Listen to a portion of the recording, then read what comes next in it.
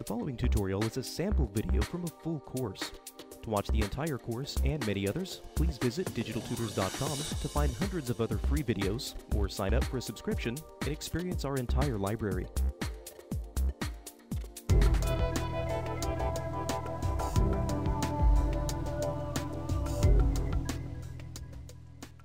In this lesson, we will learn about rendering. Rendering allows us to convert our 3D scenes into a 2D image.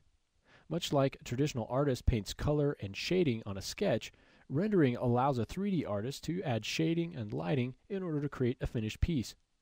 It is used in almost all 3D fields, such as product visualization, architectural design, and film. When setting up a render, we usually start with a scene that's only modeled and animated. We may also have textures for our models, but not always. In order to render a scene, we will need to add materials to shade our models, add lights, set up an environment, and tweak our render settings in order to increase quality or to use features like ray tracing or final gather. When we hit render, the application looks at our scene through the camera and then translates all the 3D data into 2D pixel data. Depending on your scene and render settings, rendering can take a long time. Rendering at film size and quality can sometimes take hours or days per frame. All of these steps may be done by a single render artist or may be divided into separate jobs, such as one person lighting the scene while someone else making the shaders.